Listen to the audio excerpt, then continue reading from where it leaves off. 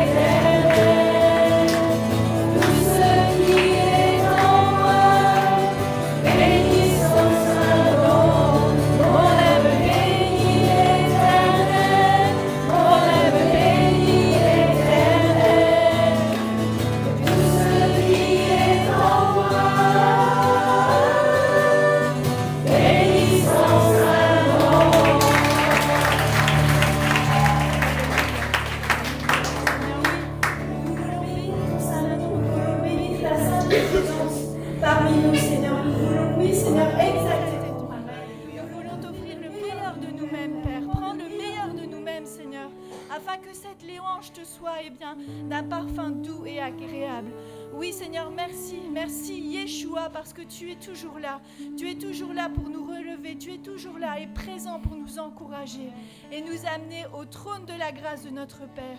Et nous t'exprimons eh bien, notre reconnaissance. Nous voulons, oui, avec ta création, bénir ton nom. Oui, Seigneur, les anges et les créatures qui sont autour de ton trône te louent. Et nous voulons aussi eh bien, nous joindre à eux ce matin pour te louer. Merci Seigneur, oui, nous voulons proclamer la gloire du ressuscité. Rien n'est égal à toi, Yeshua. Rien n'est égal à ta beauté. Alléluia. Les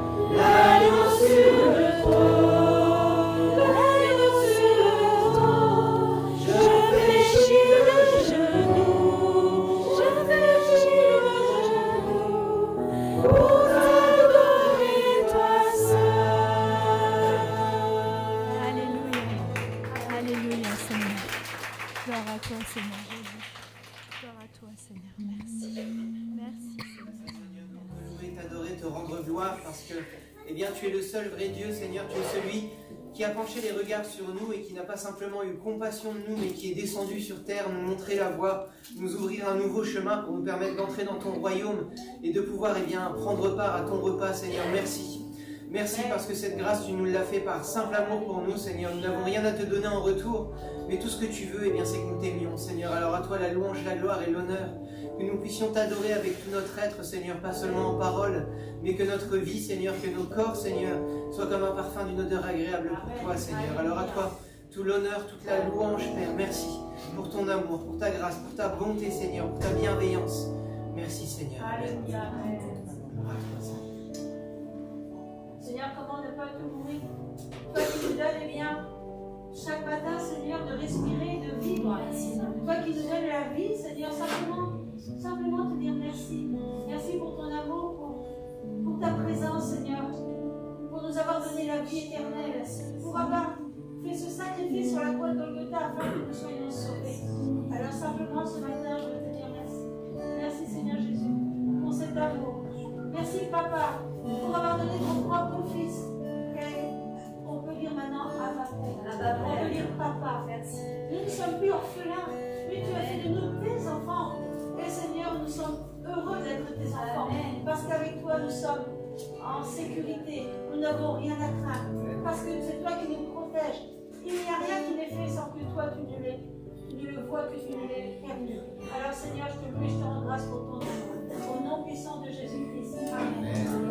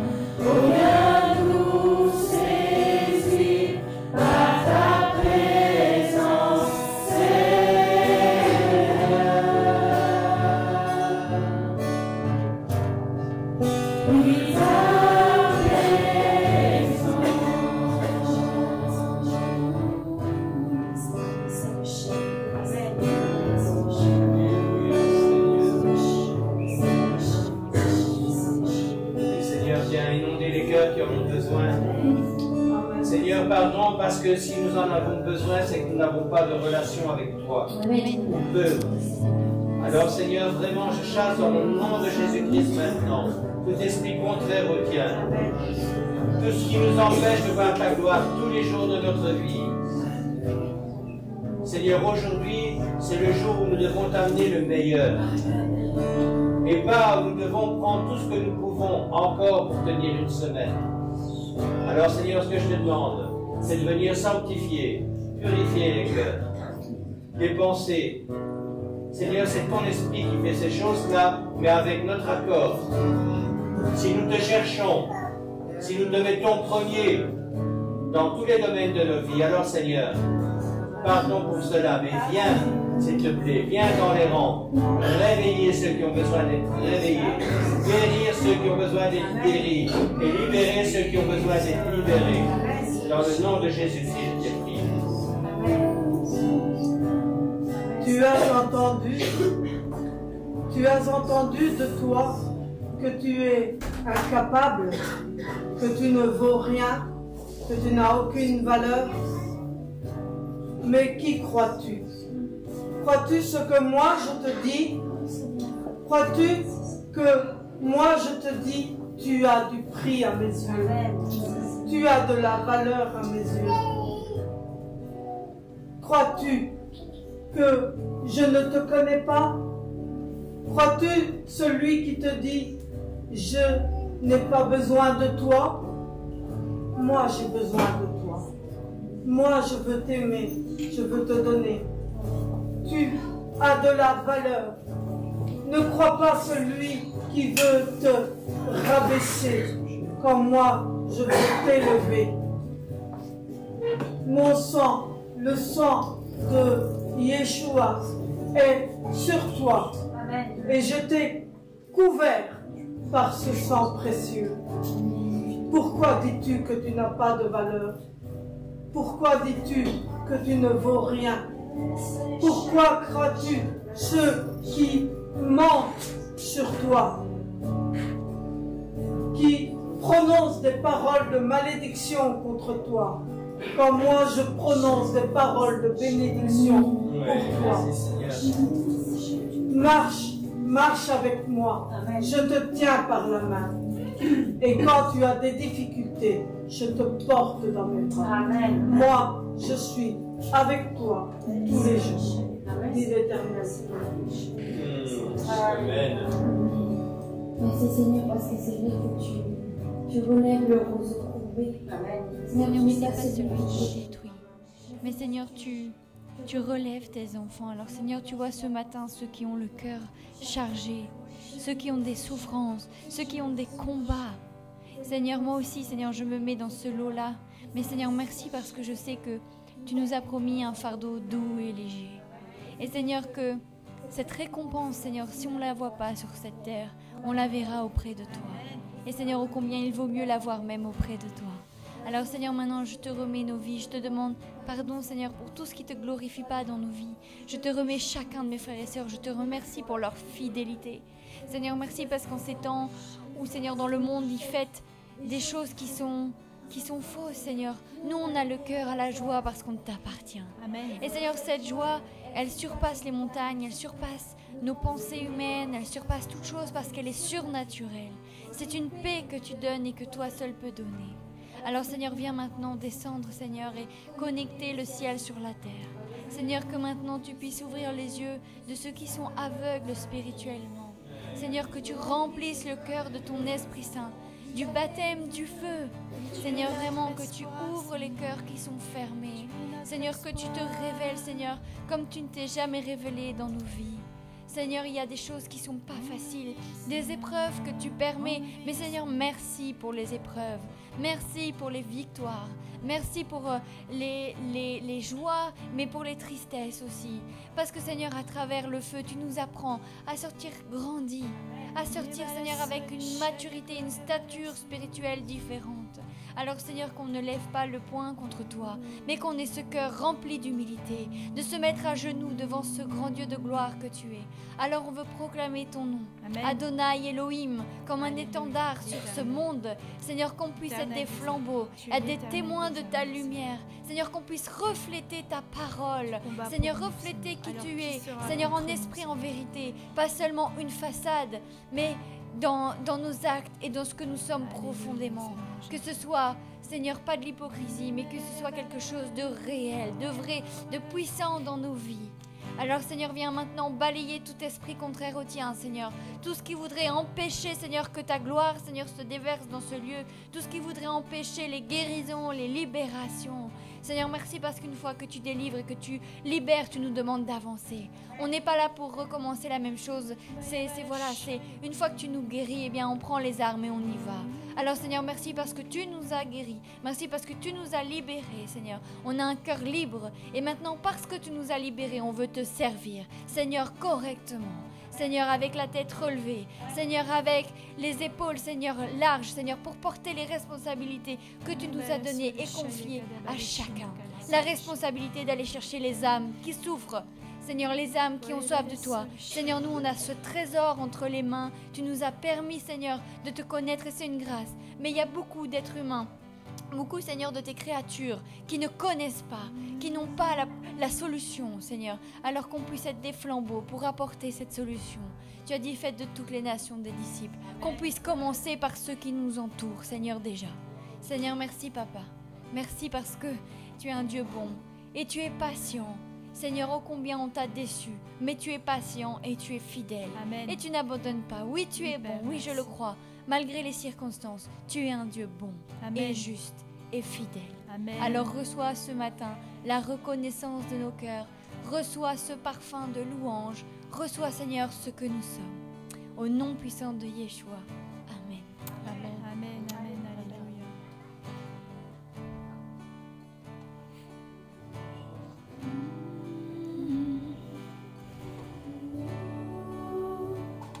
déclarons, Seigneur, ensemble que toute arme forgée contre nous sera sans effet. Amen. Et nous déclarons ensemble que même si nous marchons et nous traversons la vallée de l'ombre de la mort, Seigneur, nous savons que nous ne sommes pas seuls. Amen. Et ta houlette et ton bâton nous rassurent. Merci pour ta grâce manifestée en ton Fils Yeshua, qui a tout pris à la croix pour chacun d'entre nous.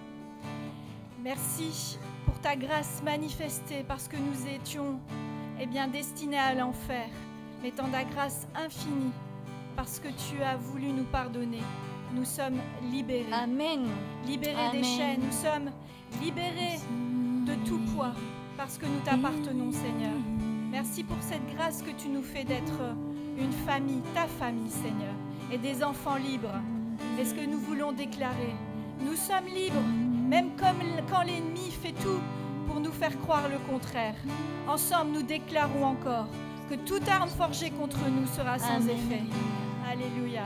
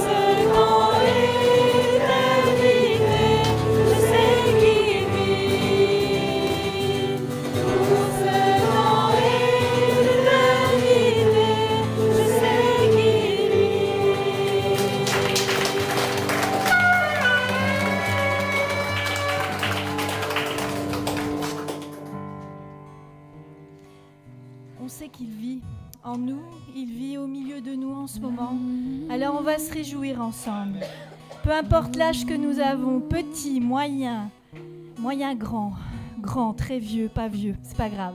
C'est pas ça qui compte. Ce qui compte, c'est que nous sommes des enfants libres. Alors sentez-vous libre de le louer. Sentez-vous libre de danser. Sentez-vous libre de frapper dans vos mains.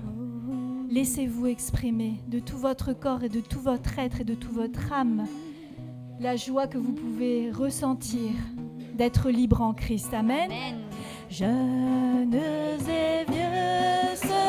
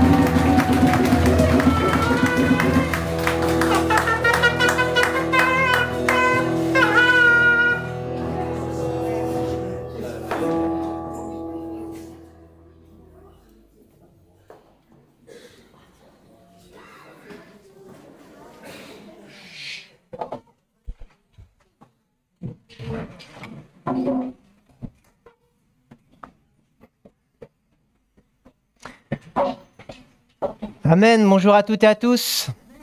J'espère que vous êtes en forme. Après une louange qui bouge comme ça, on ne peut qu'être en forme. Amen.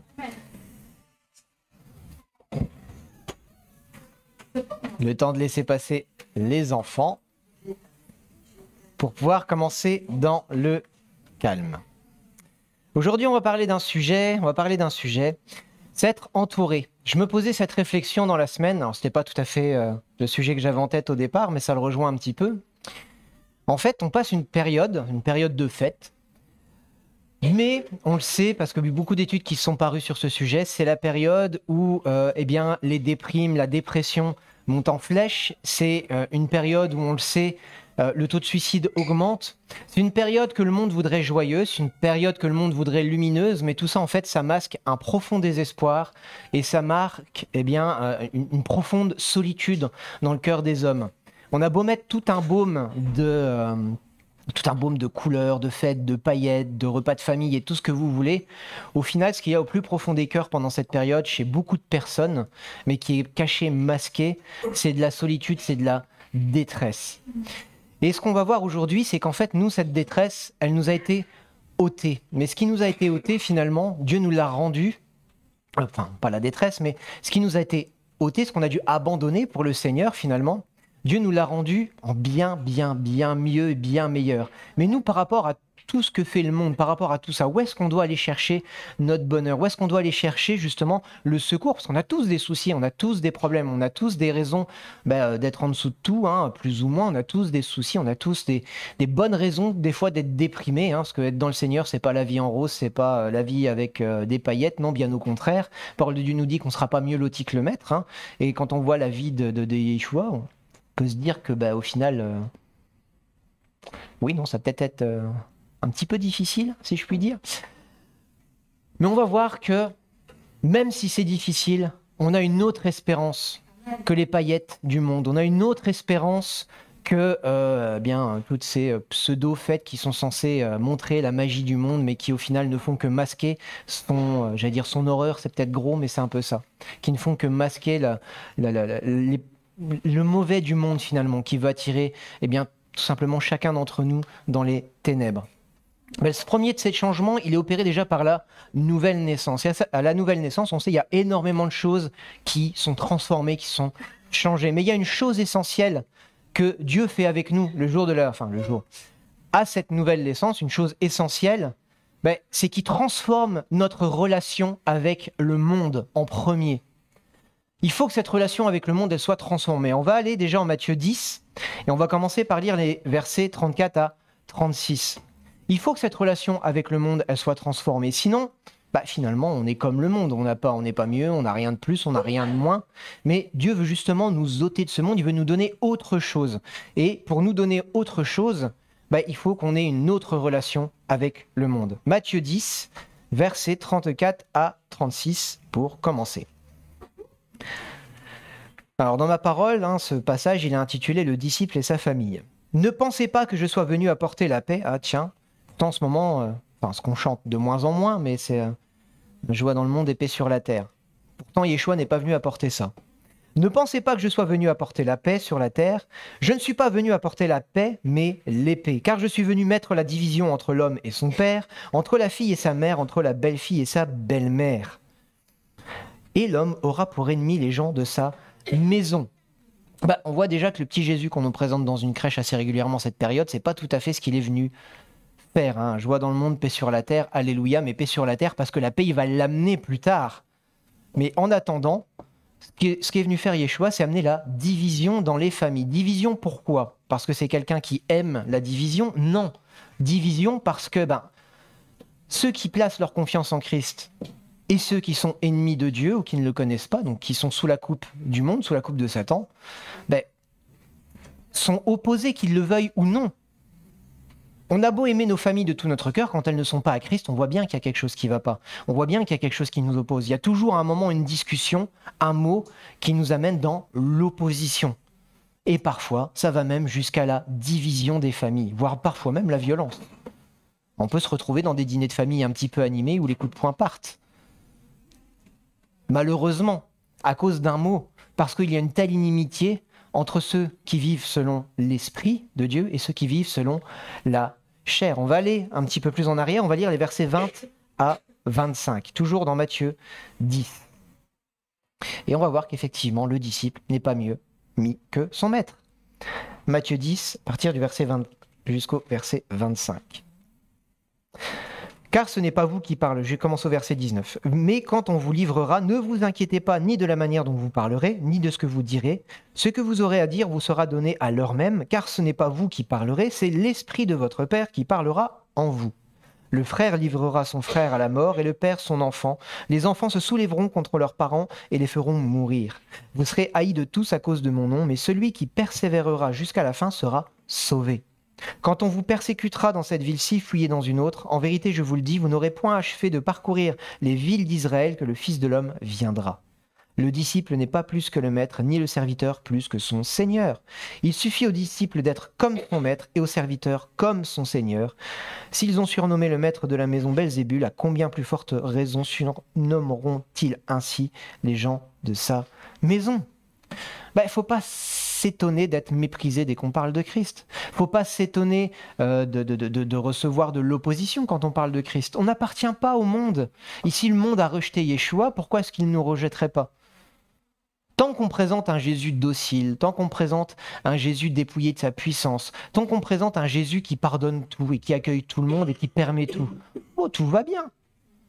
Mais en ce moment, c'est le mouvement. Alors, c'est surtout aux États-Unis, mais ah oui, LGBT, tout ce que vous voulez. euh, hein, Dieu n'est pas genré, il est homme et femme. euh, on accueille tout et tout le monde dans la maison du Seigneur. Alors que quand on prend la peine de lire la parole, on sait que c'est en horreur à l'éternel.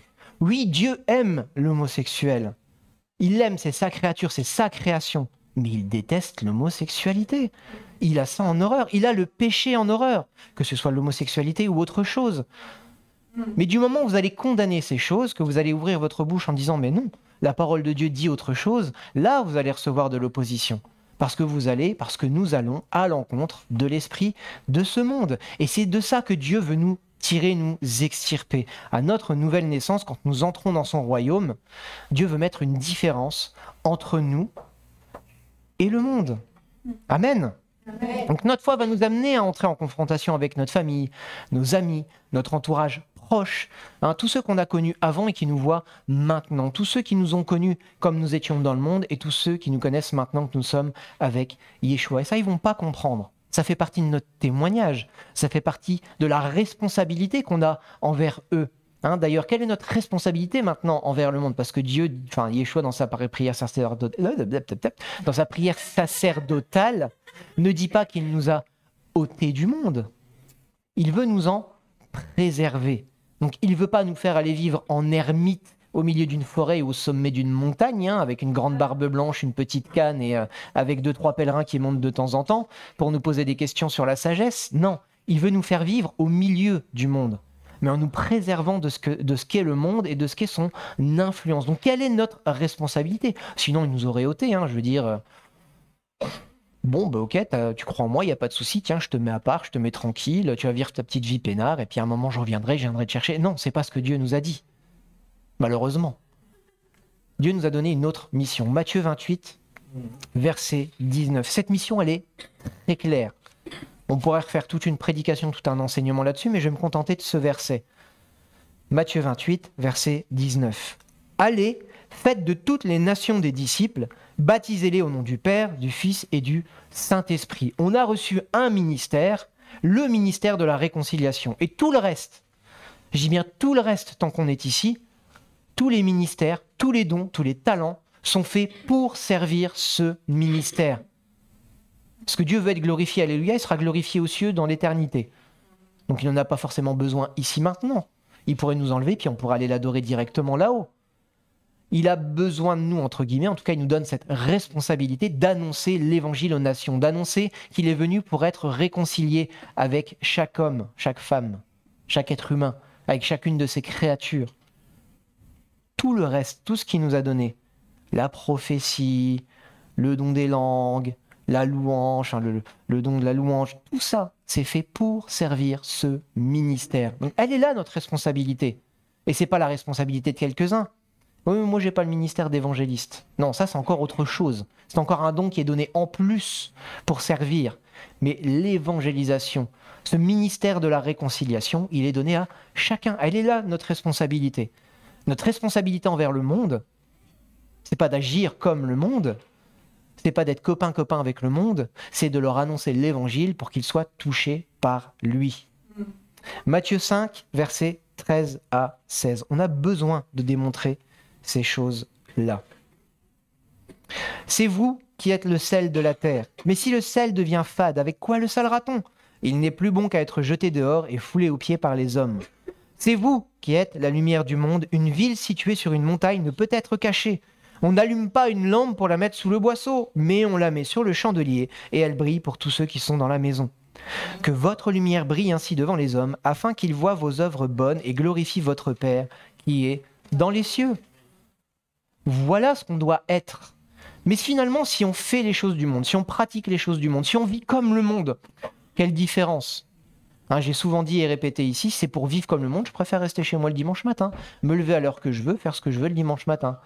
Mais non, je m'astreins à me lever, bon, je vais pas dire tôt, mais relativement tôt, plutôt que je ne le voudrais, à venir ici, à faire de la route, à prendre du temps pour me préparer pour pouvoir venir ici, les lundis soirs, les mercredis soirs, les vendredis, régulièrement, et à toutes les autres. Je me mets une astreinte, pourquoi? Parce que je veux plaire à Dieu et que je veux faire une différence. Souvent dans Malachie, on dit alors vous verrez la différence entre celui qui me sert et celui qui ne me sert pas. Mais comment est-ce qu'on veut mettre une différence?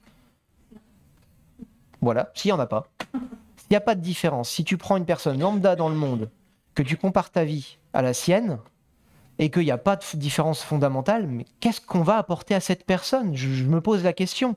Si je ne suis pas différent de ceux à qui je veux apporter cette bonne nouvelle, même si à moi elle m'a fait du bien intérieurement, qu'est-ce que je vais lui apporter? Qu'est-ce qu'on peut apporter au monde si on n'est pas différent du monde? Amen il faut que ce soit quelque chose qui résonne en nous. On a reçu le ministère de la réconciliation et à cause de cela, on ne peut pas se contenter de vivre comme le monde, sur nos acquis, sur notre, confort. Il faut qu'on cherche plus que ça. Et bien souvent, quand on cherche plus que ça, eh bien ce confort, ces acquis, je ne vais pas dire qu'ils nous sont enlevés, mais on les perd. Et c'est normal et c'est logique. Donc si nous ne vivons et n'agissons pas à l'image de ce que nous disons être, on n'a aucune saveur. Hein. on est aussi fat que le, mondain qu'on côtoie. Hein, alors, quelle est notre responsabilité? Qu'est-ce qu'on fait? Quelle est notre relation justement avec ces gens? Ben, Moi j'ai relevé deux points en tout cas. Hein. On est libre de tout, mais on doit ne se laisser asservir par rien. On va prendre un Corinthien 6. On va commencer par un Corinthien 6. On va lire le verset 12. Donc 1 Corinthiens 6, verset 12, qui nous dit Tout m'est permis, mais tout n'est pas utile, tout m'est permis, mais je ne me laisserai pas asservir par quoi que ce soit. Et pour compléter, on va aller un peu plus loin en 1 Corinthiens 10 et on va lire le verset 23. Verset 23 qui nous dit Tout est permis, mais tout n'est pas utile, tout est permis, mais tout n'édifie pas. Donc là, Paul nous met en garde. Oui, on n'est plus sous la loi, on est sous la grâce, mais ce n'est pas une excuse pour faire tout et n'importe quoi. Au contraire, même si nous sommes libres de tout, faisons attention de ne pas nous laisser asservir justement par quoi que ce soit, sous prétexte de liberté. Ben non, ça c'est pas grave, je peux le faire, c'est pas grave. Puis au final, on met un doigt dans un engrenage que le Seigneur nous avait fait quitter, et après le droit, il y a la main, et si on ne prend pas garde, si on coupe pas la main au bon moment, bah, on se fait manger le bras, puis on se fait manger tout entier. Donc il faut faire déjà attention à ne se les faire...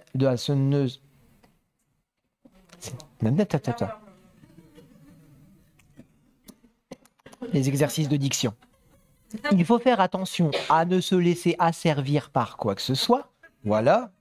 Mais il faut aussi que dans ce qu'on veut mettre en pratique, veiller à ce que ces choses nous édifient.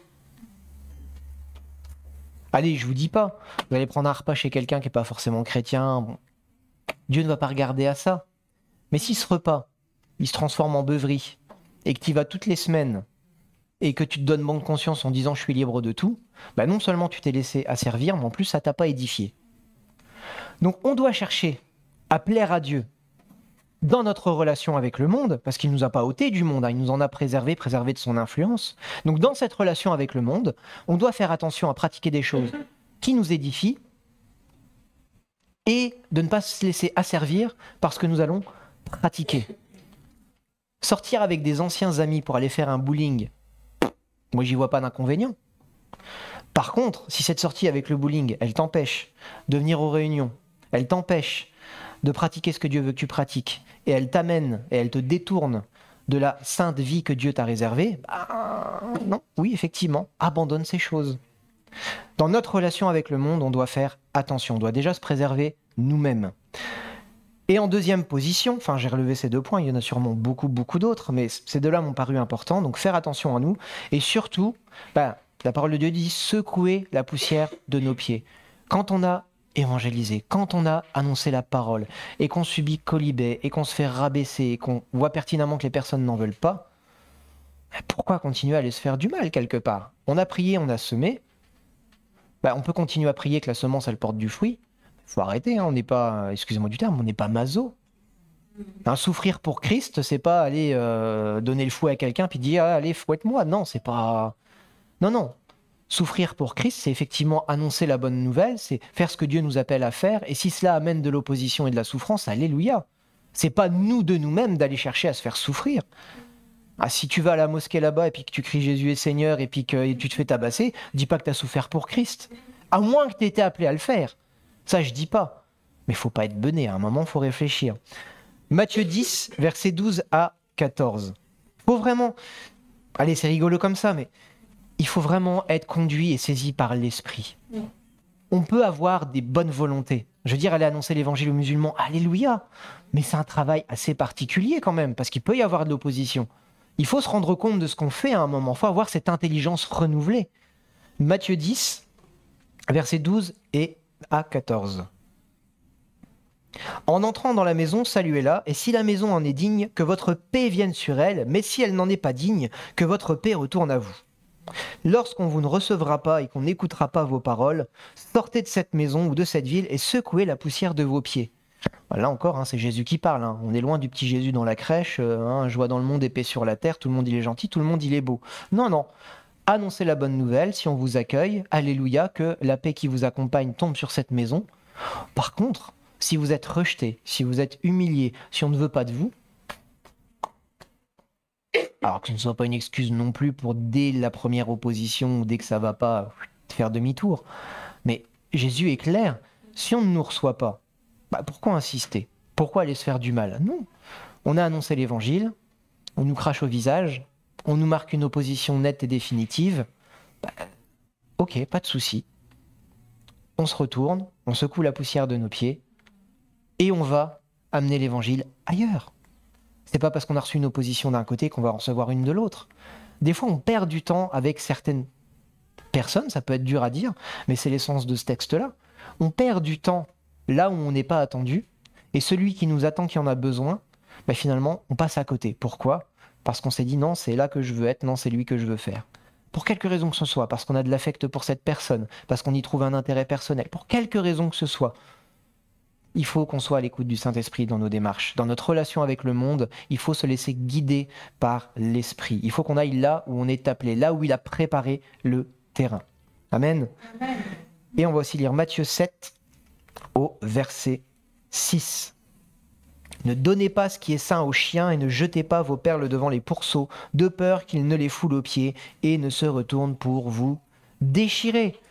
Là, plus clair, Hein, parmi le monde, parmi les païens, ben, Jésus on qualifie certains de pourceaux, de chiens. Et le chien, il n'avait pas une bonne image à l'époque. Hein. C'était pas l'ami de l'homme. Ben, il faut qu'on soit conscient de ces choses-là aussi. De qui est-ce que Dieu veut qu'on s'approche? Faut pas qu'on perde du temps pour rien. Du temps, on n'en a pas. Dieu nous dit de racheter déjà le temps qu'on a perdu. Alors si on continue d'en perdre, mais soyons attentifs. Qu'est-ce que l'Esprit attend de nous? Où est-ce qu'il veut qu'on soit? Comment est-ce qu'il veut qu'on agisse justement avec les personnes qui nous entourent? Il y a des gens qui sont réceptifs, qui sont peut-être à ça de basculer. Ces gens-là, oui, il faut insister, il faut prier, il faut continuer de les suivre. Il y a des gens qui nous font des bras d'honneur et qui nous crachent au visage. Bah ok, continuons à prier pour eux, continuons à penser à eux, à les remettre dans le Seigneur. Peut-être qu'un jour nous aurons eh bien, une opportunité, peut-être qu'ils auront des circonstances dans leur vie qui leur feront eh bien, que ce que l'on ce qu'on leur ce que ce qu'on leur a annoncé à un moment, eh bien, ça re- rejaillira et que ça leur permettra de, de se tourner vers Dieu à ce moment-là. Mais en attendant, on a tellement d'âmes autour de nous qui ont besoin d'entendre l'évangile. Amen. Si la bonne nouvelle que nous annonçons n'est pas reçue, ne nous mettons pas dans des situations où nous serons le sujet de moqueries, de persécutions inutiles. Amen. Alors on a une mission, c'est celle de répandre l'évangile. Mais on doit aussi faire attention au salut de notre âme. On ne peut pas faire n'importe quoi. Hein, on parlait encore il n'y a pas si longtemps que ça, euh, avec un service, bah, avec Vincent, de gens qui avaient reçu la mission d'aller évangéliser bah, dans des bordels. Bah, des serviteurs que Vincent a connus, il n'y en a pas beaucoup qui ont tenu, il n'y en a qu'un qui a tenu. Et encore, il- il faisait ça d'une manière un peu particulière. Moi, j'ai souvent entendu, ouais, je vais en boîte pour évangéliser. Ou je vais aller à ce concert pour annoncer la parole de Dieu. Ah, Vous voyez celui-là je, je doute pas que l'intention était bonne. Je doute pas de la volonté du cœur de la personne. Je doute de l'appel. Parce que je sais que ces personnes, elles n'étaient pas affermies. Je me rappelle du milieu d'où ces personnes venaient. Parce qu'elles aimaient bien faire la fête, elles aimaient bien la musique. Et donc, elles se sont dit, bon, on va joindre l'utile à l'agréable. Au final, elles y ont trouvé un intérêt personnel. Mais est-ce que c'est là que le Seigneur les attendait? On doit faire attention au salut de notre âme. Jacques 4, verset 4.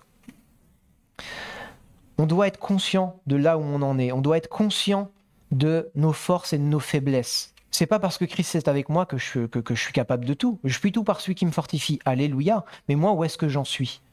Est-ce que je suis suffisamment entraîné? Est-ce que je suis suffisamment solide pour faire, pour mettre en œuvre le, plan euh, auquel j'ai pensé? Jacques 4, verset 4. Adultère, ne savez-vous pas que l'amour du monde est inimitié contre Dieu? Celui donc qui veut être ami du monde se rend ennemi de Dieu. Est-ce qu'on préfère être ami du monde, de faire les choses qui nous plaisent et de parler un petit peu de Dieu? Ou est-ce qu'on préfère, être ami de Dieu et se passer de certaines choses et d'être conscient ben, que c'est pas là qu'on est attendu et qu'on est appelé? C'est compliqué nos relations avec le monde quand même. hein. On pourrait se dire, ouais, il y a juste à annoncer, il y a juste à tout ça. Non, on faisait partie du monde, nous aussi. On a une chair qui se rappelle à nous et qui aimerait bien, euh, ben voilà, tiens, ça, j'aimais bien ça. Moi, c'était les jeux vidéo. J'étais passionné de ça, j'y passais des heures, des heures, des heures, des heures, des heures, des heures et des heures. Hein, je crois que je jouais plus que je ne dormais et que je ne faisais autre chose. Et à un moment, le Seigneur, il m'a dit stop. Mais clairement, stop. Au départ, c'était même si je prenais une manette, j'avais des hauts de cœur, j'avais, enfin, c'était physique, j'avais un dégoût, un rejet. Pourquoi? Parce que c'était une vraie addiction. Et le Seigneur savait que si j'y retouchais peu de temps après ma conversion, je ne saurais pas me maîtriser, me contrôler. J'ai dit OK. Au départ, ça a été difficile. Puis à un moment, ça a été naturel. Et maintenant, aujourd'hui, je suis capable de prendre une manette et au bout d'une heure, d'en être dégoûté, de, la poser. Alors qu'avant, j'en étais incapable. Avant, je prenais une manette, je jouais une heure, je me disais, tiens, ça fait que 10 minutes que j'ai commencé. Et quand je disais c'était la dernière, mais en fait, c'était pas la dernière. C'était une drogue, c'était un besoin, c'était nécessaire. Et à un moment, Dieu m'a délivré de ça, mais il m'a dit non, stop. Il a mis une barrière franche. Ça, tu ne peux plus. Pourtant, tous mes amis étaient sur, ce, sur cette passion commune. Toutes mes relations sociales étaient sur cette passion commune. Tous les gens auxquels je me disais, bah, tiens, mais je pourrais leur parler de Dieu en même temps, ils étaient sur cette passion commune. Bah, je peux vous dire que ces gens, aujourd'hui, j'ai plus de relation avec eux. Et j'ai compris beaucoup plus tard pourquoi. Pourquoi? Parce que si j'avais continué de fréquenter ces gens, bah, mes passions, elles m'auraient rattrapé. J'aurais été incapable de résister. J'aurais été plus ami du monde qu'ami de Dieu. Nous aussi, il faut qu'on fasse le tri à un moment.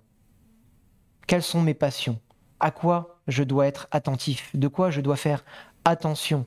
À qui je peux avec qui je peux, je peux traîner, c'est pas le mot, mais avec qui je peux avoir encore certaines relations.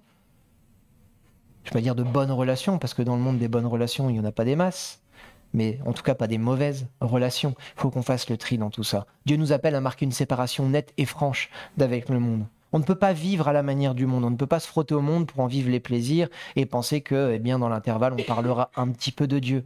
On doit faire attention à son âme. Hein, il faut qu'on fasse attention au sentimentalisme. Il y a des gens qu'on aime beaucoup, mais on aura beau leur parler toute notre vie de l'évangile, ils ont dit non. Qu'est-ce qu'on fait avec des gens comme ça? Alors je vous dis pas d'en avoir, de les avoir pour ennemis, mais qu'on évite de perdre trop de temps avec eux et qu'on essaye de demander au Seigneur là où il nous attend. Amen. Ça peut être dur, peut être très très dur, mais à un moment, il faut avoir le courage de dire ok Dieu, je te fais confiance. Tu sais que j'aime cette personne, tu sais que j'ai envie de la voir venir à toi.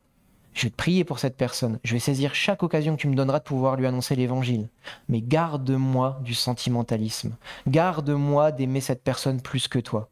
Il faut qu'on fasse extrêmement attention à ça.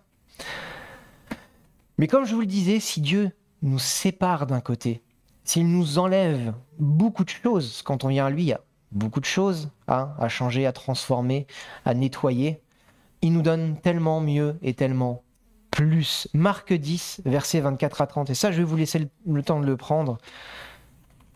Parce que c'est extrêmement important qu'on le sache et qu'on en soit convaincu. Marc 10, versets 24 à 30. Donc là, c'est un jeune homme riche qui vient de venir voir Jésus et qui, euh, et qui lui dit euh, Bon, voilà, euh, moi je pratique la loi. Enfin voilà, qu'est-ce qu'il faut faire pour être sauvé? Ben, Jésus lui dit Il faut faire ça, il faut faire ça, il faut faire ça. Et il lui dit Mais moi je fais déjà tout ça. Et Jésus lui dit, bah, ok, sépare-toi de tes biens, vends, donne aux pauvres, et puis euh, là, tu pourras me suivre. Et là, le jeune homme riche, il s'en va, il est triste. Et euh, les disciples interrogent Yeshua. Marc 10, versets 24 à 30. Les disciples étaient stupéfaits par ces paroles. Et Jésus reprit et leur dit, Mes enfants, qu'il est difficile d'entrer dans le royaume de Dieu. Il est plus facile à un chameau de passer par le trou de l'aiguille qu'à un riche d'entrer dans le royaume de Dieu. Est-ce que Jésus détestait les riches? Non. Mais le fait d'avoir beaucoup de biens, beaucoup d'attaches dans le monde, nous empêche parfois eh bien, d'aller là où Dieu nous attend. Pourquoi? Parce qu'on a peur de perdre ce qu'on a déjà. C'est ça que Jésus voulait dire ici. Les disciples s'étonnaient encore davantage et se disaient les uns aux autres, Alors, qui peut être sauvé? Jésus les regarda et dit, Cela est impossible aux hommes, mais non à Dieu, car tout est possible à Dieu. Pierre se mit à lui dire, Voici que nous avons tout quitté et que nous t'avons suivi. Jésus répondit, En vérité je vous le dis, il n'est personne qui ait quitté à cause de moi et de l'Évangile maison, frère, sœur, mère, père, enfant ou terre, et qui ne reçoive au centuple présentement dans ce temps-ci des maisons, des frères, des sœurs, des mères, des enfants et des terres, avec des persécutions, et, dans le siècle à venir, la vie éternelle. Dieu nous promet, tout ce dont je t'ai séparé, je te le rendrai au centuple. Alors ça ne veut pas dire que si tu as laissé ton compte en banque, il te rendra 100 fois plus sur ce compte en banque. Mais tout ce qui faisait ta joie dans le monde, tout ce qui t'attachait, tout ce qui était important pour toi, Dieu t'a demandé de t'en séparer, ou si tu sais que c'était mauvais pour soi et que tu l'as abandonné, Dieu te rendra au centuple ce qui faisait ta joie. Dieu te rendra au centuple au travers ben, de frères et de sœurs. Oui, je suis un cadeau pour vous, mes frères et mes sœurs. Je suis 100 fois mieux que ce que vous avez connu avant et vice-versa, bien sûr. Il va nous rendre des maisons d'éther, donc il va nous rendre des biens en suffisance, des choses qui vont nous combler, pas des choses qui vont nous attacher, pas des choses qui vont nous asservir. Aujourd'hui, combien d'entre nous sont asservis? Mais par les biens qu'ils possèdent, je veux dire. La maison qu'on a achetée et pour laquelle on a dû faire un crédit, la voiture qu'on a achetée et pour laquelle on a dû faire un crédit, le travail qu'on a et qui nous enchaîne parce qu'on doit manger et qu'on doit payer ses crédits. Alors c'est pas une accusation, c'est une nécessité pour vivre. Mais est-ce que ces choses, elles nous lient? Ou est-ce qu'on compte sur Dieu justement parce qu'on sait que ces choses, Dieu les a bénies? Alors, au final, c'est plus ou moins la même chose. On continue d'aller travailler, on continue de donner de l'argent justement pour payer tout ça. Mais en nous, on sait que c'est Dieu qui fait ces choses. On sait que notre confiance, elle est en Dieu. Et on sait que si demain on doit perdre une de ces choses, on ne craindra pas. Ce sera peut-être difficile. On aura peut-être le nœud au ventre tous les soirs quand on va aller se coucher, parce qu'on se demandera peut-être de quoi sera fait le lendemain. Mais on aura quelque chose de bien plus grand qui vit en nous, qui nous donnera cette paix, cette joie inexplicable malgré tous les problèmes. C'est l'Esprit de Dieu. Amen. Parce qu'on a une relation avec Dieu, parce qu'on sait où est notre espérance, parce qu'on n'a pas mis notre espérance dans les choses que nous possédons, parce qu'on n'a pas mis notre espérance dans les choses eh bien qu'on s'est peut-être acharné à avoir toute notre vie avec nos petits bras, mais parce qu'on a mis notre confiance en Dieu, on sait que même si demain ces choses nous sont reprises, Dieu a bien mieux pour nous et au centuple, avec des persécutions, parce qu'on vit encore dans le monde. Mais on a aussi une autre espérance. Ces persécutions, elles vont s'arrêter. Quand? Dans le siècle à venir, quand Yeshua sera revenu pour accomplir sa justice. Amen. Amen. Il faut qu'on s'accroche à cette espérance. Même si aujourd'hui on est toujours le nez dans nos problèmes, on voit les choses qui ne vont pas, il faut qu'on puisse voir par-delà ces montagnes et voir qu'à un moment, toutes ces souffrances, elles vont s'arrêter. Amen. Ça, ça doit nous faire tenir. Donc ce que nous abandonnons, Dieu nous le rend dès maintenant. Hein, c'est pas plus tard, mais il nous le rend dès maintenant. Donc on ne doit pas s'inquiéter, on ne doit s'inquiéter de rien. Donc il nous donne des frères, des sœurs, une famille en son sang, hein, avec qui on doit développer des relations solides. Parce que si Dieu nous sépare du monde d'un côté, il veut nous lier aussi aux hommes et aux femmes eh bien, qui sont nés de nouveau avec lui. Amen. On a reçu un immense cadeau qui est le corps de Christ. On en fait maintenant partie. Et Dieu veut qu'on se rapproche de ces gens-là même s'ils n'ont pas du tout la même culture que nous, même s'ils n'ont pas le même caractère que nous, même s'ils nous tapent sur les nerfs avec leurs réflexions, même si... Pourquoi? Parce qu'ils ont la même espérance et un même esprit. Et Dieu sert de ça justement pour nous frotter, pour transformer notre caractère, pour nous amener à le découvrir au travers de ceux qui nous entourent et pour nous amener à être une personne qui lui ressemble. Amen. 1 Jean 4, versets 7 à 8. Pourquoi? Parce que notre relation avec nos frères et nos sœurs, bah, ça va être aussi la base de notre relation avec lui. 1 Jean 4, versets 7 à 8.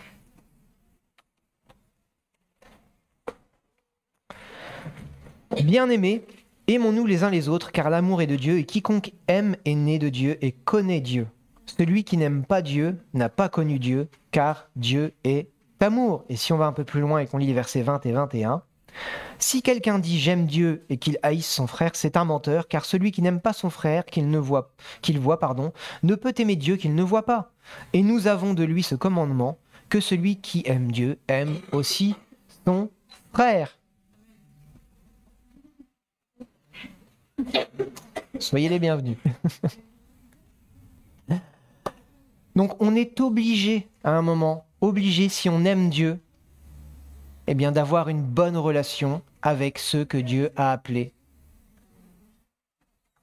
Une C3 Picasso rouge. Si ce n'est pas chez nous, je continue. Donc si on dit qu'on aime Dieu, si on va avoir une bonne relation avec Dieu, ben, ça commence déjà par avoir une bonne relation avec nos frères et nos sœurs. On peut avoir des oppositions, on peut avoir différentes manières de voir et de penser, on peut ne pas être du même avis. Ça ne veut pas dire qu'on doit se déchirer et se faire la guerre. On peut parler, on peut prier ensemble, on peut demander à l'esprit de nous éclairer.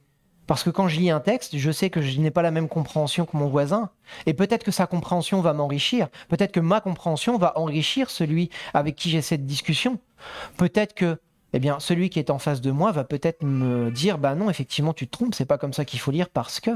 Il faut qu'on ait cet esprit ouvert pour pouvoir discuter, pour pouvoir s'entendre.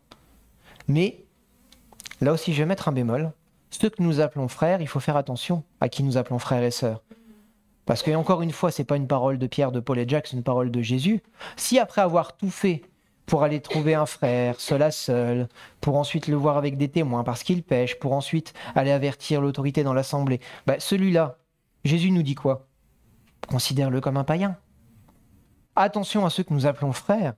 Si ton frère est dans l'erreur, qu'il refuse de revenir à lui, que tu as utilisé tous les moyens possibles et inimaginables pour essayer de l'extirper de son erreur. Pourquoi? Parce que ta volonté, c'était pas de le mettre au quatrième dessous, de le descendre et de le tailler, mais que c'était qu'il puisse revenir à lui et arrêter de pratiquer ce qui eh l'éloigner de Dieu, mais qu'il refuse obstinément de revenir à lui. Pourquoi le considères-tu encore comme un frère?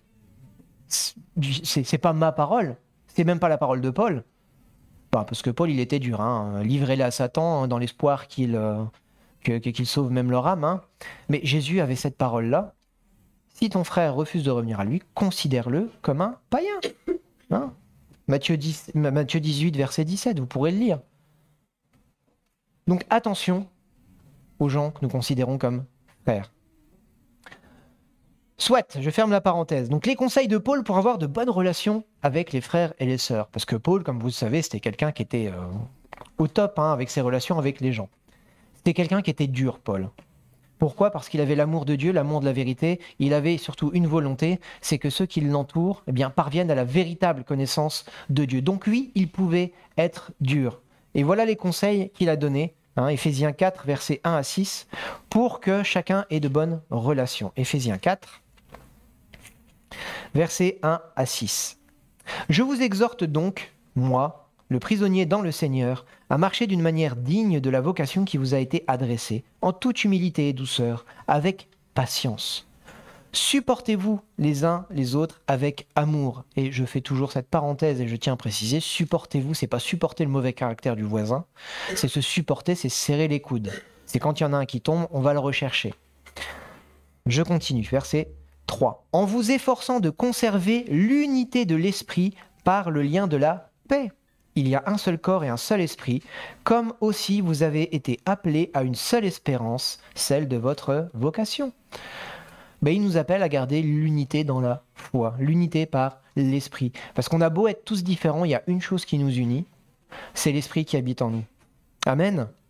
Et au travers de cet esprit, si on est amené à devoir échanger, si on est amené à devoir travailler ensemble, si on est amené à devoir louer et adorer ensemble, on doit rechercher ce lien de la paix encore une fois, une paix pas comme celle du monde, hein, qui veut poser euh, de la pommade sur tout, tout le monde il est gentil, tout le monde il est beau, on cherche surtout pas à froisser les sentiments de la personne qui est en face de nous, non. Supportez-vous les uns les autres avec amour en vous efforçant de conserver l'unité de l'esprit par le lien de la paix. En vous efforçant, c'est qu'il va y avoir des efforts à faire. On doit se dire la vérité les uns aux autres. Si on n'est pas capable d'entendre nous-mêmes la vérité, bah, qu'est-ce qu'on fait encore ici? Christ est la vérité. Si on n'est pas capable d'entendre la vérité, on n'est pas capable d'entendre ce que Christ a à nous dire. Donc il faut que nous nous efforcions de garder cette paix. Et c'est parfois compliqué parce qu'on a des parce qu'on n'est pas toujours, euh, bah, déjà on n'est pas toujours en forme. Donc des fois on est un petit peu bougon et on répond mal. Hein Je pense qu'il y en a euh, certains qui ont déjà fait euh, les frais de ma mauvaise humeur passagère parfois. Mais on, a tous ce genre de problème. Hein, ça nous arrive, on se lève parfois du pied gauche, on n'est pas bien, on ne se comprend pas parce qu'on n'a pas la même façon de penser.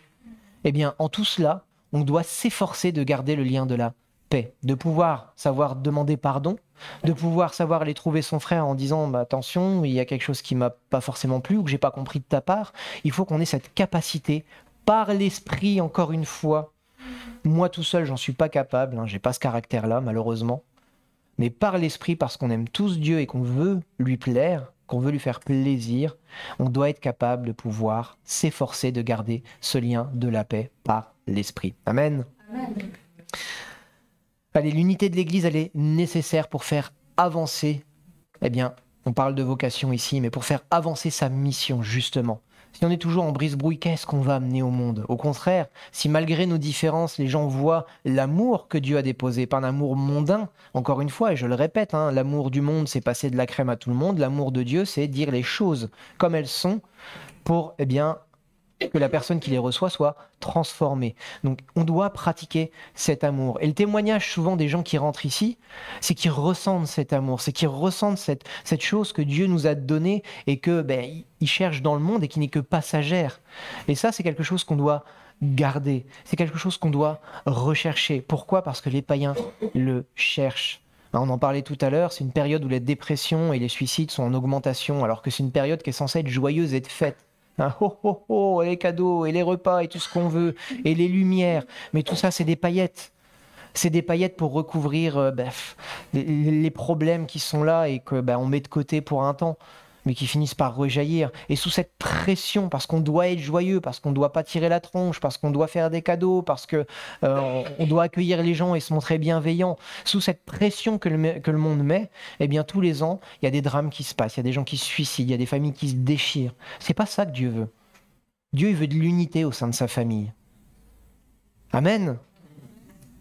On doit manifester ces choses pour que le monde voit qu'on qu'on est différent. Hein. On doit vraiment veiller les uns sur les autres. Et encore une fois, pas en se passant de la pommade ou pas par notre propre intelligence. On va prendre l'exemple de Job. Job, il avait trois amis, quatre amis. Des gens sages, des gens âgés, mais qui viennent avec leur propre intelligence pour l'accuser. Si tu es dans cette situation-là, c'est que tu as forcément fait quelque chose. Ça, c'est l'intelligence humaine. C'est notre intelligence. Si t'as fait, si t'arrive ça, c'est que t'as forcément fait quelque chose. Pourtant, Job, il sait qui il est, il sait qu'il n'a rien fait. Il est même un peu trop prudent. Il sait qu'il est, tenu droit devant Dieu et qu'il n'a rien à se reprocher. Il faudra que ce soit une autre personne plus jeune qui s'était tue, on va le prendre, hein, Job 32, verset 1 à 9. Il a fallu que ce soit une autre personne qui vienne lui dire les choses telles, telles qu'elles étaient. Pourquoi? Parce que Job, il n'avait pas un bon caractère il était un peu orgueilleux sur les bords.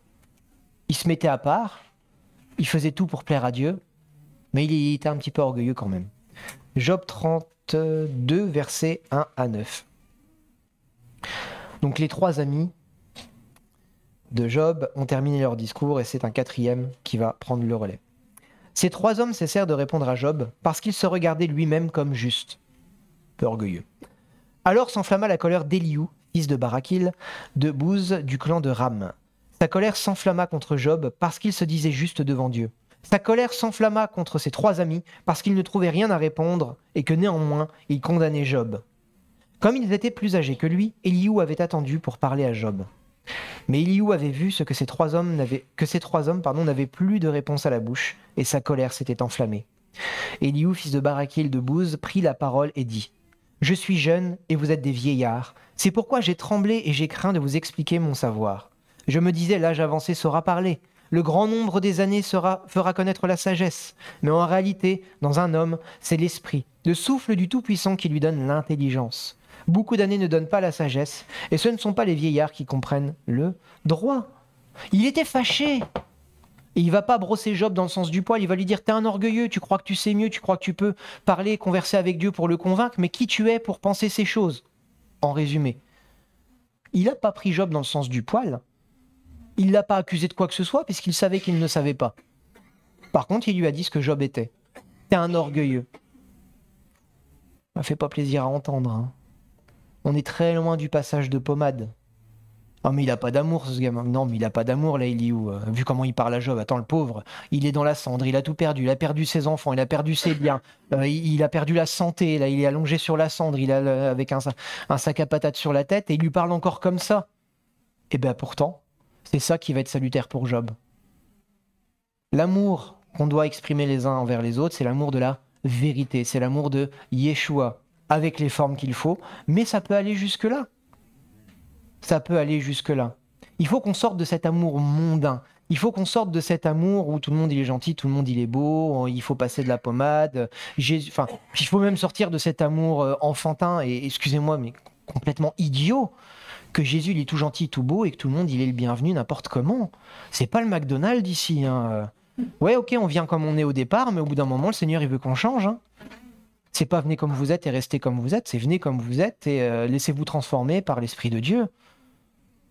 Et par cette remarque salutaire, eh bien, Dieu va pouvoir intervenir. Dieu va pouvoir convaincre Job. Et cette phrase magnifique que je lis souvent, j'ai l'impression déjà de l'avoir lue la dernière fois, on va la prendre, c'est Job 42, verset 5.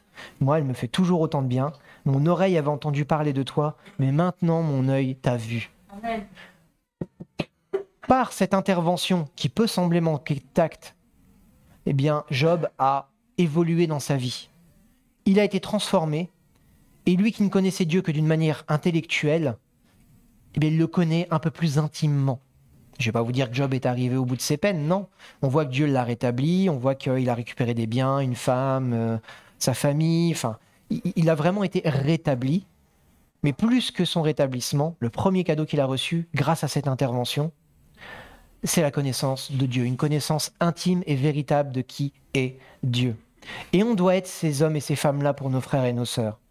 On doit être ces hommes et ces femmes qui ont envie de voir ceux, qui sont autour d'eux, autour de lui, autour d'eux, les voir approcher du Seigneur, les voir grandir. On doit voir celui qui est en face de nous et se dire, mais j'ai envie qu'il évolue dans sa relation avec le Seigneur. Et tout ce que je vais faire, c'est pour l'édifier. Tout ce que je vais faire, c'est pour l'amener à connaître Dieu un peu plus. Tout ce que je vais faire, c'est pas le lyncher pour le mettre au quatrième dessous parce qu'il pêche, c'est l'avertir de son péché pour qu'il s'en détourne et qu'il connaisse Dieu encore davantage. C'est là l'amour qu'on doit pratiquer et manifester les uns envers les autres. C'est pas simplement aller s'inviter les uns chez les autres, on se fait une bouffe, on est content, on rentre chez soi et puis on se revoit dimanche prochain. Non, ça en fait partie, alléluia, j'aime bien manger. Mais ça va bien plus loin que ça, l'amour de Dieu.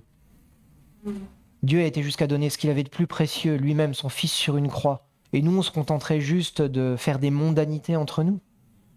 Les mondanités, entre guillemets, c'est en plus, c'est du bonus. Ça fait plaisir, bien sûr, de se recevoir les uns les autres, de s'offrir des cadeaux, de partager des choses. Mais l'essence même, la fondation de notre amour qu'on doit avoir les uns envers les autres, c'est qu'on doit voir celui qui est en face de nous comme plus grand que nous. On doit chercher à l'élever, à l'édifier. Et parce que chacun d'entre nous avons cette même pensée, eh bien, on s'édifie les uns les autres, on grandit et on avance. Et on est dans sa vocation, justement, de faire de toutes les nations du monde des disciples. Parce que les gens vont voir, ils sont pas idiots les gens. Dans le marasme qu'on vit en ce moment, si les gens voient autre chose que le marasme du monde et euh, la belle peinture qui est en surface, et que profondément ils voient qu'il y a des gens qui ont été touchés, changés, transformés, et qui vivent quelque chose que eux n'ont pas et n'arrivent pas à obtenir malgré tous les efforts qu'ils font, c'est là qu'ils vont être touchés. Amen. Donc il faut qu'on vive cet amour entre nous. Et il faut que les paroles que nous ayons les uns envers les autres, elles soient remplies d'amour, mais d'un amour qui vise à nous faire grandir avec le Seigneur. On doit être ces hommes et ces femmes comme eh bien Moïse était avec Aaron, comme Élie était avec Élisée. On va prendre Exode 33. J'ai pris ces deux exemples parce que moi, c'est des exemples qui m'ont marqué dans ma jeunesse spirituelle. Hein, quand on est des... euh, pas des Aaron, des Josué, j'ai dit quoi? Quand on est des Josué, il faut se rapprocher de Moïse. Parce qu'autour de Moïse, il n'y avait pas que Josué. Il y avait au moins Aaron. Pourtant, c'est Josué qui a pris la succession de Moïse. Pourquoi? Parce qu'il avait un autre cœur. Et Josué, il s'est rapproché de Moïse, mais il s'est surtout rapproché de Dieu. Exode 33, verset 11. L'Éternel parlait avec Moïse face à face, comme un homme parle à son ami. Puis Moïse retournait au camp, mais son jeune assistant Josué, fils de Nun, ne bougeait pas de l'intérieur de la tente. Josué, il avait soif de cette présence. Et il savait que s'il restait avec Moïse, il l'aurait. Mais il ne s'était pas trompé, il n'avait pas fait de Moïse son Dieu. Il cherchait Dieu au travers de Moïse. Lui qui était un enfant spirituel, il s'était rapproché, dire d'un patriarche, d'un mentor, d'un ancien, pas dire d'un vieux. Hein. Il s'était rapproché d'un ancien, de quelqu'un de mature spirituellement, pour pouvoir bénéficier de son expérience, pour pouvoir approcher Dieu au travers de cette personne et pouvoir apprendre d'elle. Et c'est la même chose avec Élie et Élisée. 2 Rois 2, versets 1 à 9. Là, euh, Élisée, il était encore, euh, encore plus, lui il, voulait deux fois plus que ce que Élie avait. Il était gourmand. Élie, il a eu l'honnêteté de lui dire Moi, c'est pas moi qui vais pouvoir te donner ça, mais sache que si tu me vois partir, ben, ça veut dire que Dieu te l'aura donné. Mais pourquoi? Parce qu'Élisée, il voyait Élie. Il voyait sa relation avec Dieu. Il voyait à quel point il était proche de Dieu. Il voulait ce qu'il avait. Il voulait pas son ministère. Il voulait pas ses dons et ses talents. Il voulait sa relation avec Dieu. 2 Rois 1 à 9. 2 Rois 2, pardon, verset 1 à 9. Lorsque l'Éternel fit monter Élie au ciel dans un tourbillon, Élie partait de Gilgal avec Élisée. Élie dit à Élisée, Tu vas rester ici car l'Éternel m'envoie jusqu'à Bethel. Élisée répondit, L'Éternel est vivant et ton âme est vivante, je ne t'abandonnerai pas. Il y est attaché. Ils descendirent à Bethel. Les fils des prophètes qui étaient à Bethel sortirent vers Élisée et lui dirent Sais-tu que l'Éternel enlève aujourd'hui ton Seigneur au-dessus de ta tête? Il répondit Je le sais aussi, taisez-vous. Donc c'est pas parce que euh, Élie allait partir que allait l'abandonner. Au contraire, il va rester avec lui jusqu'au bout. Il y est attaché. Il va honorer celui qui l'a élevé et édifié. C'est extrêmement important. Là aussi, dans nos relations avec nos pères spirituels, avec nos parents spirituels, on doit faire preuve, j'allais dire donner, mais on doit les, oui, les honorer. C'est ça, quelque part. On doit être conscient de ce qu'ils sont et de là où ils nous amènent. Alors c'est pas ramper à leurs pieds, encore une fois, c'est pas Josué ne, vénérait pas Moïse, euh, Élisée ne vénérait pas Élie, mais c'est être reconnaissant premièrement de ce qu'ils font pour nous, et deuxièmement être reconnaissant mais qu'ils nous ont précédés et que nous allons peut-être prendre leur suite. Je continue verset 4. Élie lui dit, Élisée, tu vas rester ici car l'Éternel m'envoie à Jéricho. Il répondit, L'Éternel est vivante et ton âme est vivante, je ne t'abandonnerai pas ils arrivèrent à Jéricho. Les fils des prophètes qui étaient à Jéricho s'approchèrent d'Élisée et lui dirent Sais-tu que l'Éternel enlève aujourd'hui ton Seigneur au-dessus de ta tête Il répondit Je le sais aussi, taisez-vous. Ah, les circonstances, toutes les circonstances étaient là pour que Élisée s'arrête et dise Ok, s'il avait fait ça, il aurait perdu le cadeau que Dieu avait en réserve pour lui. Élie lui dit Tu vas rester ici car l'Éternel m'envoie au Jourdain. Il répondit L'Éternel est vivant et ton âme est vivante, je ne t'abandonnerai pas. Ils poursuivirent tous deux leur chemin. Cinquante hommes d'entre les fils des prophètes arrivèrent et s'arrêtèrent vis-à-vis à quelque distance. Et eux deux s'arrêtèrent au bord du Jourdain.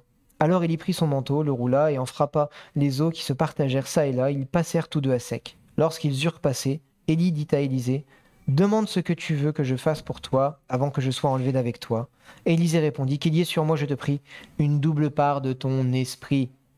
Et pas un petit E. Hein.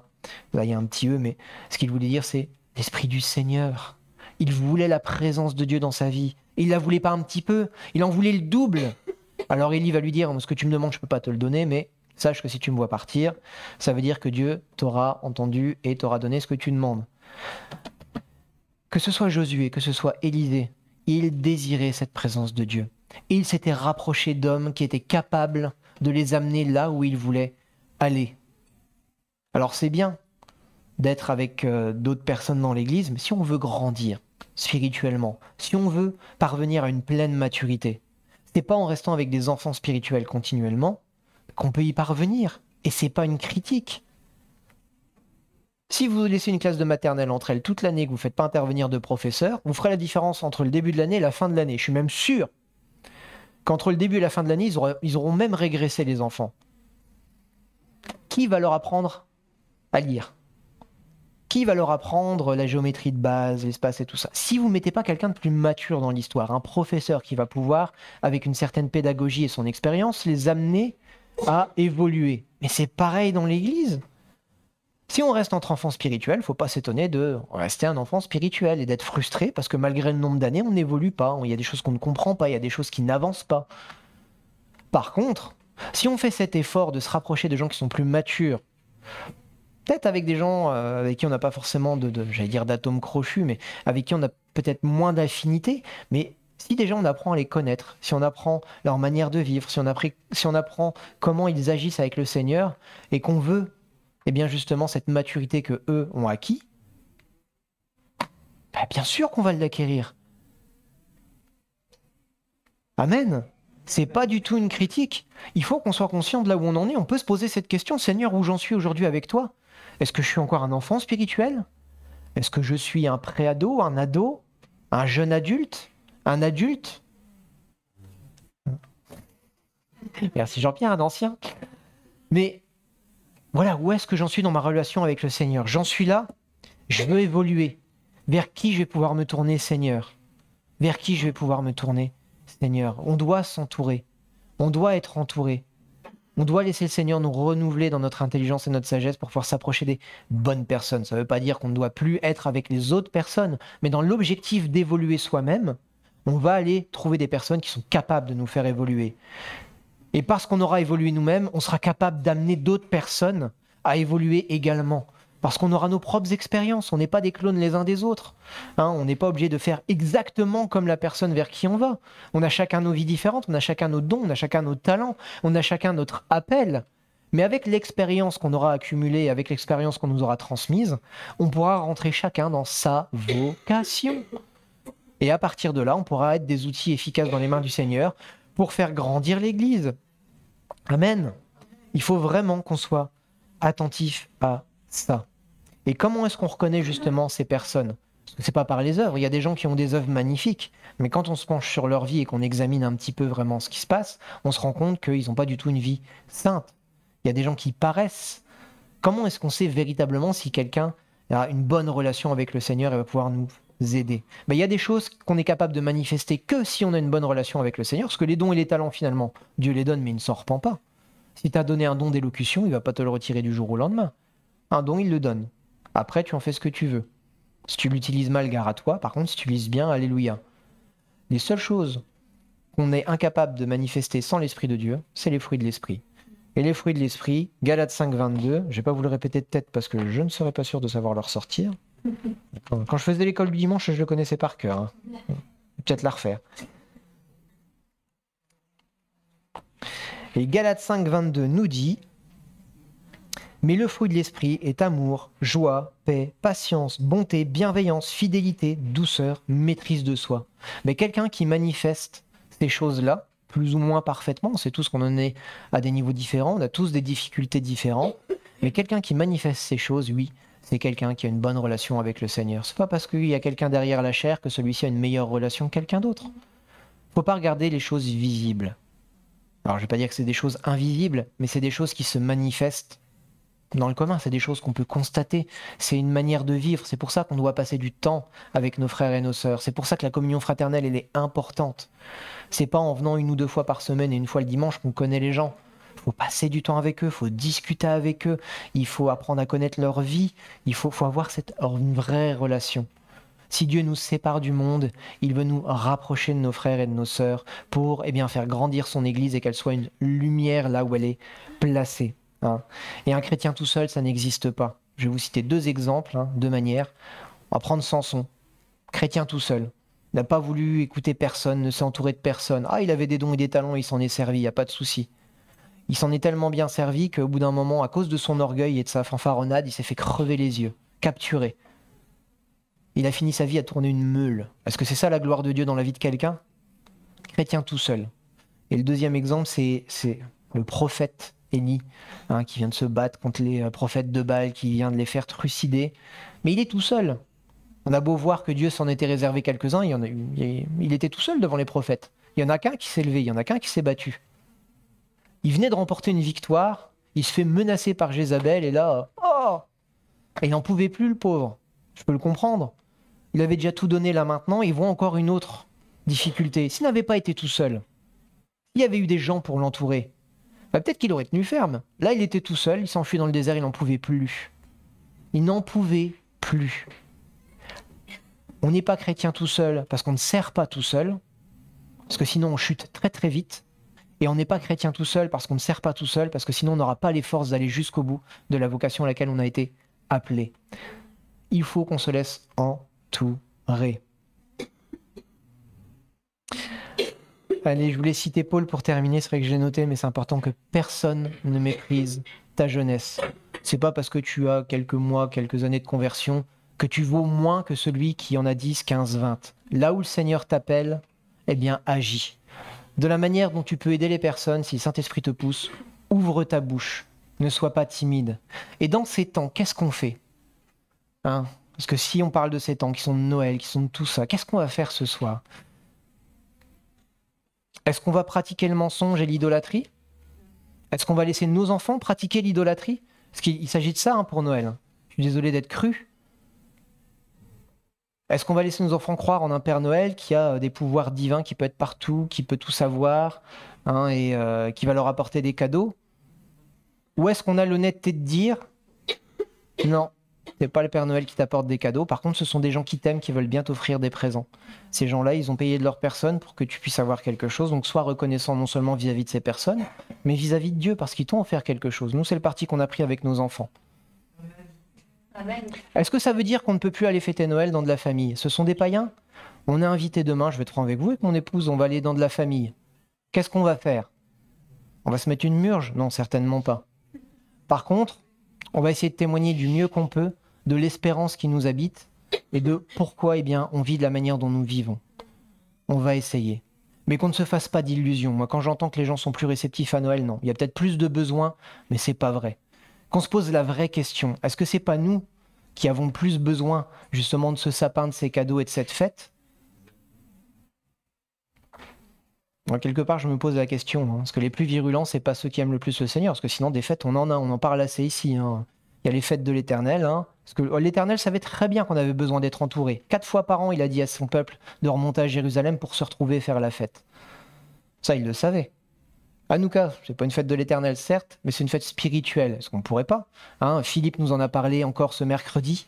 Justement, nous raccrocher à cette fête, si ce n'est pour la pratiquer de manière juive, en tout cas pour se rappeler de la lumière, de la véritable lumière qui est venue éclairer le monde.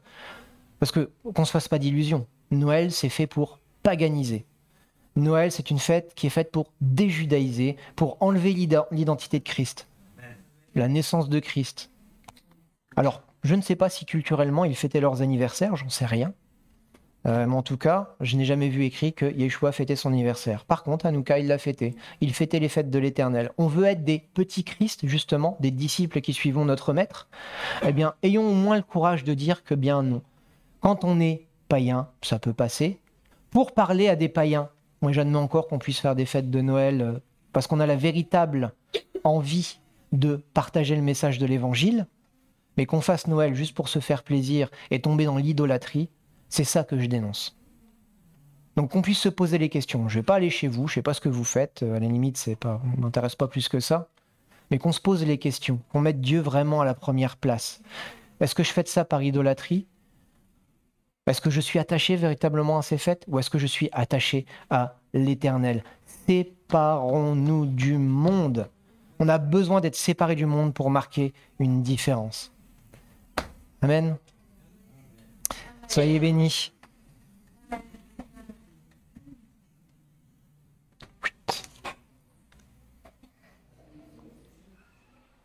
Merci Kader pour ce beau message de fin d'année